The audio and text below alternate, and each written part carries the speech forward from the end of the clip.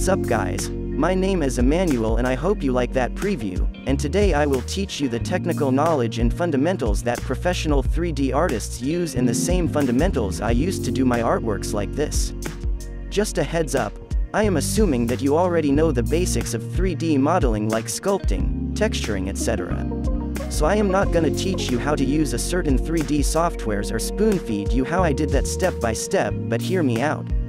I assure you that this video will help you to become a better 3D artist and possibly win a lot of projects in the future by just understanding the basic fundamentals of creating beautiful artwork that can stand out from the crowd even you are beginner or not.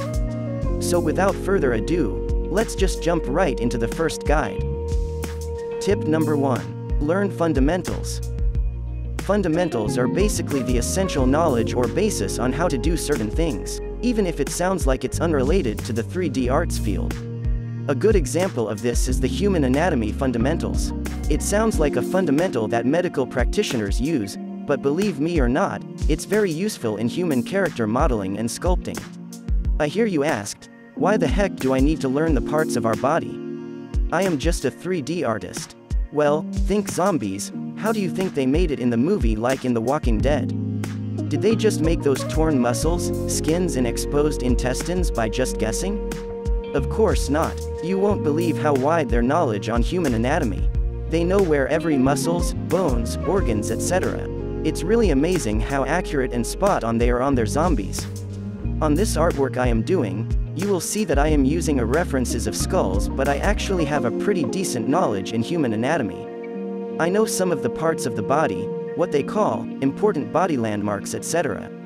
Combining your knowledge in human anatomy plus the use of references makes sculpting a human body related 3D models really really fast. I will explain some of the most useful fundamentals for 3D artists later like the aging and deterioration of materials, scene composition and color theory. So make sure you stay tuned. Tip number 2. Low, mid, high. Basically, it's a type of workflow where you will build a scene or a character from the biggest detail to mid detail to higher detail. Let's start with the low detail. In character modeling, it's often called the basic silhouette of the character, which is the outline shape of your character. In scene composition, however, it's often called the scene blocking, which is a workflow where you will just use very basic shapes to represent an element in a scene. For example, on this scene I did a long time ago, at first you will see the scene as just a bunch of basic shape and that's what you call the low detailing part. And then after establishing the basic shapes, you can now add mid details. And high details.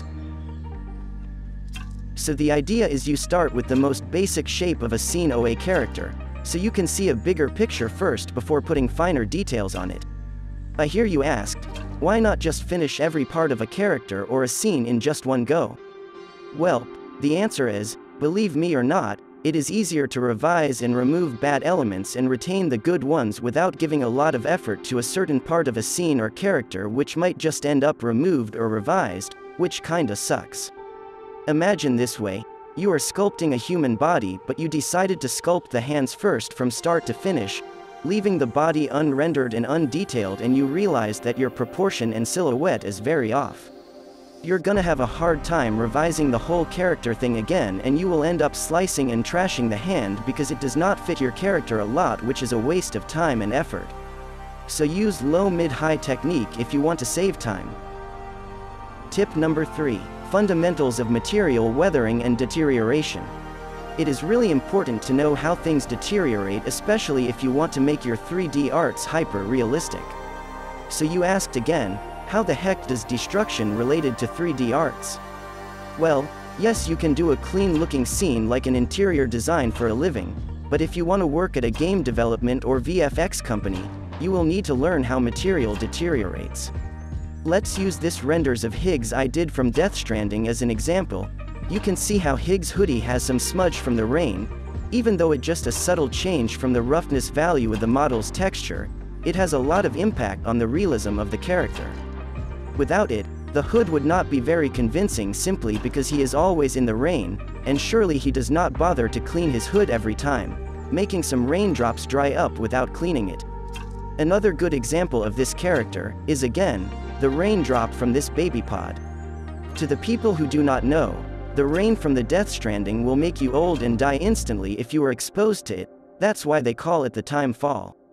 I know that the equipment that Higgs uses is capable of withstanding the time fall but surely it will still rip some paint off and rust some metal over time. That's why you see, some paint dissolved due to the raindrops from the time fall. Another good example is this baby pod edges, you'll notice that it has some paint ripped off, it is because edges are more exposed to high pressure impacts due to its small surface area. That's why you will notice some painted objects that are really old, always have scratches on them compared to the wide and flat surfaces. So, here are the basic steps on how to create realistic deterioration textures. First, determine what is the base material of your model, is it made from metal, or perhaps a painted wood? In my case, this is a skull so obviously I need to use a skull texture. Second, what kind of environment does your 3D model sit in? Is it a dusty old abandoned house? then it should be dusty. But in my case, the skull is sitting on a pile of ground dirt, so it should be covered with dirt too. You should also consider time. What I mean is you should also know how long that object sits in that environment, does it receive sunlight and rain? Then the weathering and the deterioration of that object's material will be greater. Again, in my case, this skull has sat on this ground for almost a decade or more, so it should look deteriorated more than its original texture, like this. You see, these fundamentals are not only to make your scene or your character look better and realistic, you can also use this to tell a story about your artwork. If you love doing texturing like me, then I suggest you learn these fundamentals more. That's it for today, I will upload the continuation of this video by tomorrow. I am assuming that you love these guides because you reached the end so drop a like and a comment of what you want to learn next time and I will try to upload a guide for that. Also, if you notice it's not my real voice, it's actually an AI doing a voiceover of my script I wrote, because my accent sucks. And lastly please make sure to subscribe because I love doing this kind of stuff but my daytime job is always in the way and I can't do this full time yet but I would love to. Thank you and see you tomorrow.